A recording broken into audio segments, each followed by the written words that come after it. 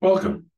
Today, we're talking about the Science Olympiad event called Wind Power. And in particular, we're talking about test stands that we use in that event um, and creating your own test stand so that you can test your, your uh, wind power device at home. So the first question is, who is allowed to build this test stand? And, and the answer is anyone we're talking about the test stands, not the device itself. And so there's no requirement that the competitors must build the test stand in the same way that competitors must build the device. Parents, coaches, other adults can, can work on this test stand. Uh, now, if, if building a test stand sounds like a, uh, a scary, daunting task, um, we, we do recognize that not everyone has tools and building know-how. And if this describes you, then uh, start out by talking to your coach to connect with uh, team parents, um, other folks on the team, um, and, and even students on the team, because most likely someone associated with your team does have the know-how and the tools to do this. Uh, you can also talk to your school's tech teacher.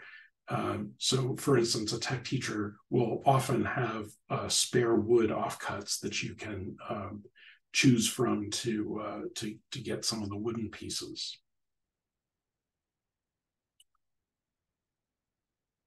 Now, the, the Nationals website has on the wind power uh, event page, which is listed there uh, on the slide, has instructions and plans for a test stand. And this design is a, is a very good design. It's fully tournament worthy, um, but it's, it's not so easy to build. And here we are presenting a much simpler design that's very easy to build with just a few tools and supplies but I, I, will caution you that this design that we present here is not robust or adjustable enough for use at a tournament. So if you are an event supervisor, you really want to be looking at that design that is on the, the Nationals website. Okay, let's talk about what you'll need. There's a few supplies. Um, you'll need a, a spindle wheel, which is uh, this black disc right here. You'll need a, a, motor, which is the, the gray cylinder underneath it, and you'll need a resistor, which is pictured just above the spindle wheel. Um, and if you if you uh, take a look at our understanding the testing setup video that accompanies this video, uh, we talk about choosing those and how do you find them online and so on, what exactly is important to look for in those components. So you'll want to have a look at that video. Um, you'll need a multimeter uh, and some clip-on leads. And again, we have a, a second video uh, that accompanies this one that talks about choosing a, a multimeter. So you'll want to take a look there. Um, then you'll need a couple pieces of wood. So a wooden base, that's this larger flat piece, and uh, a wooden post, and we'll talk about the dimensions of those on the next slide. You'll need a large cable tie. Um, the, the one that I used here is about seven and a half inches long, and you'll want some carpenter's wood glue. In terms of tools, uh, you will need to cut the wood to size. I haven't shown uh, a saw because there are so many different types. You'll need a drill to drill a quarter inch hole. Uh, so a drill with a quarter inch bit, and you'll want a, a soldering iron and some solder uh, as well. Okay, so I said we'd talk about the dimensions of the wood pieces. So you'll want a flat, broad base and the example that I've shown here is a, is a piece of plywood about six inches by 12 inches. Um, and you'll need a post. Now for the post, I used a one by two that was about nine inches long. Um, and uh, a one by two is a, a, standard size of lumber that you can pick up at, at any hardware store. Um, just know that in the same way that a two by four isn't really two inches by four inches, a one by two is actually three quarters inch thick by one and a half inches wide. Um, you can use bigger, so you could use a two by four, uh, but then you'll probably need a longer cable tie, um, and you'll you'll see why that is in a minute. Um, so you'll want to make sure that the post is longer than the maximum allowable radius of the blades in your wind power device. Uh, that's so that so that the the blades can swing freely and not bunk into anything. And um, and other than that, the, the very specific dimensions of this are not are not terribly important. If you make it 10 inches long or eight and a half inches long or something, it's it's it'll be just fine.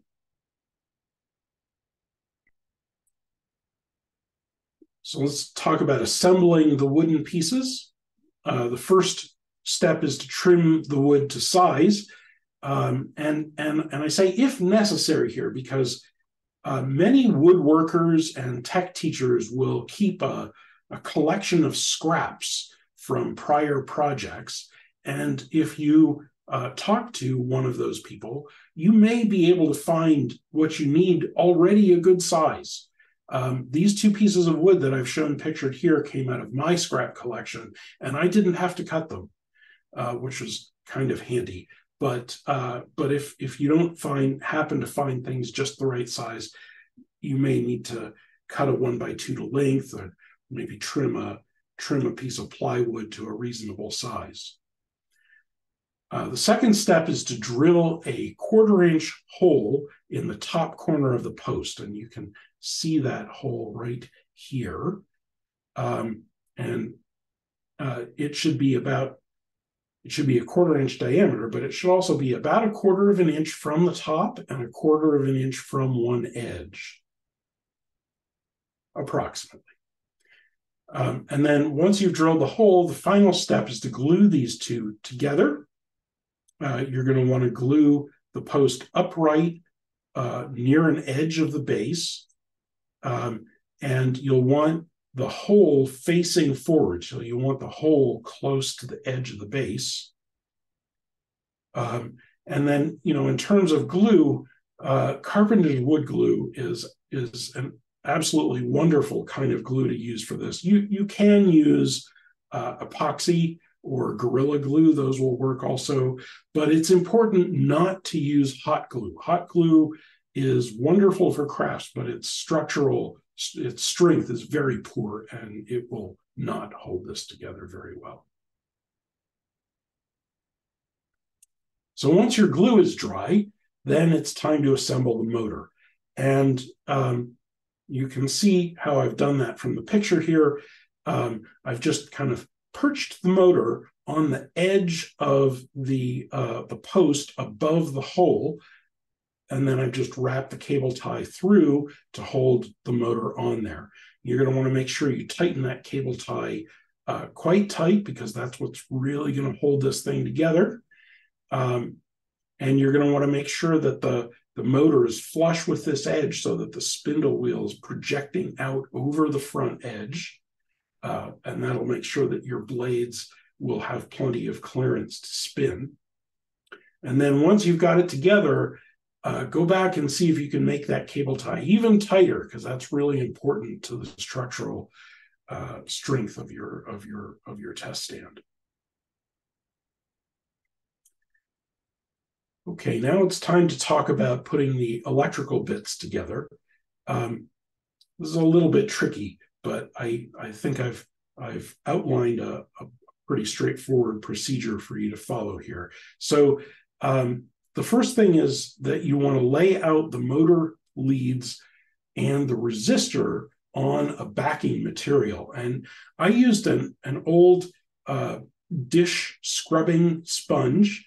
Uh, a, a, scrap of wood would also work uh, as well. Um, but I've I've taken that sponge here. That's this blue sort of fuzzy looking thing. Um, and I, I started out by just taping it to the post so that the two of them were firmly held together using masking tape. And then I taped down uh, the um, the I laid the the resistor across it. This thing right here is the resistor with its two leads sticking out to the left and to the right. And then I laid the the leads of the motor, which are this red wire coming down here under the tape. And you can see it's poking out right here. Uh, and I laid it so that its metal is against the metal of the of the res, the resistor lead, and then the other motor lead is this black one. Again, goes under the tape and comes out right here. You can see the end of it. Um, and and then you're going to try and tape all that down so that the wires stay put and so that they are touching in both places here. That's very important. They're touching, but you don't want to cover up the spots where they're touching because we're going to solder there. Once you've got that all taped down, it's time to, to do the soldering. Now, why soldering? Uh, uh, there's there's a couple of reasons for this. So one is that solder is an excellent electrical connection, um, but but it's also because um, you know you might you might think of trying to do an electrical connection by just twisting the wires together, and that's possible, but it's difficult because the leads of these motors are tiny, tiny, thin wires, and the leads of the resistor are much thicker wires, and so they're very hard to twist together well. So I would I would recommend uh, trying to solder. If you don't have a soldering iron, uh, your school probably has an electronics teacher who could help you out, um, or again, uh, someone else on the team or a parent of someone else on the team probably has a soldering iron that you could use. So how do, how do you go about soldering? Soldering is a little bit tricky, uh, but if you follow this procedure, you should do okay. What you want to do is you want to heat up the soldering iron first, get it preheated uh, three or five minutes, um, and then you're going to want to touch the solder. The solder is this thing that looks like a wire coming from the upper right. You're going to want to touch it to the place where two of the wires touch. So one of the wires is this one here. That's the black lead from the motor. The other wire is this, which is one of the resistor leads. And uh, I've touched the solder right where they touch. And then you want to touch the soldering iron to the wires just a tiny distance away from the solder, because what you want is you want that solder to melt on the wires. It, it doesn't help if it melts on the soldering iron it has to melt onto the wires in order to make a good a good electrical connection. So you're going to touch the soldering iron just a tiny distance away, and then you're going to wait for the solder to melt onto the wires and into that joint. And then you can just take away the solder and the soldering iron, and you'll have a good joint. Then you're going to do the other end, which is over here once you've once you've uh, soldered those two joints and given it just a minute to um, uh, to uh, cool off, then we're ready for our final steps. The, the first thing is you're going to want to remove the tape and the backing material, the, the sponge or the scrap of wood, uh, and, and um, that will expose the, the two motor leads and the resistor like this in the picture in the upper right. Um, do that very, very carefully. Solder joints are not strong, so you want to be careful that you don't tear those apart um, when you're when you're taking off the tape. And then once you've exposed that, you're going to put some more tape on it, but this time just cover up the resistor and the solder joints so that you protect them and uh, you know tape them firmly to the wood so that you reinforce the whole assembly and just leave the ends of the resistor exposed so that you can clip your multimeter leads on uh, to those ends. And then at that point your test stand is ready to go. Um, you can you can snap on your your propeller and uh, and and and set up your fan and and and test your device. Um, one thing to, to remember, this, this particular test stand is not adjustable in, in any way. Um, and you are going to want to move your move your propeller around in front of the fan to adjust it uh, uh, to get the best possible um, uh, uh coupling with the, the moving air uh, stream.